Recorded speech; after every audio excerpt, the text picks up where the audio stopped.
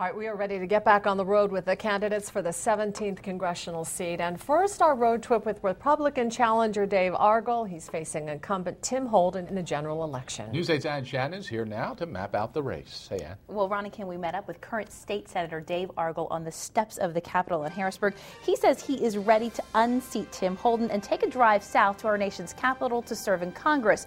But first, we take the wheel on a road trip through the 17th district.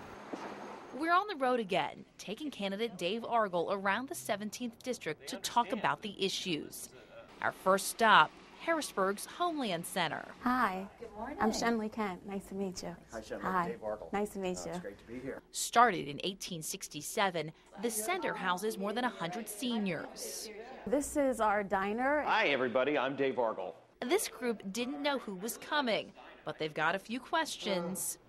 Is this the first term you're running for? I am. I'm a, uh member of the state senate now, and uh, a lot of people came to me a year ago so unhappy with the way things are in Washington.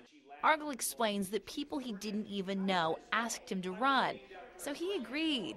Our seniors want to know more. We're just stuck. In a year, all our taxes are going up. Again, Now, I don't have any children, but I have nephews and nieces, and I'm worried for them.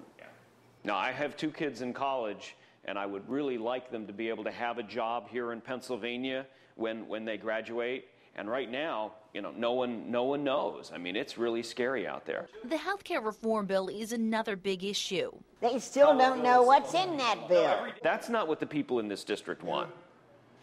So my goal, my goal is to try and make a change, and certainly I would appreciate appreciate your help. Uh, my goal is to try to, to go down uh, to Washington. I tell people on day one, I want to fire the Speaker of the House, Nancy Pelosi. I- that's- okay. All right. Bye, everybody. We say our goodbyes and we're back on the road.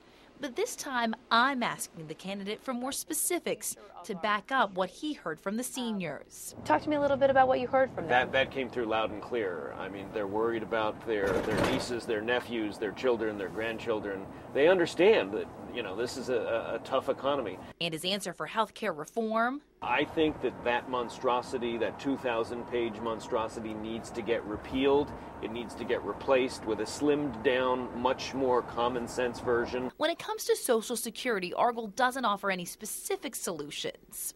I, I think the best way to fix Social Security is by cutting out some of the unnecessary spending that, that we see in Washington. As we continue our conversation, we head to our next destination.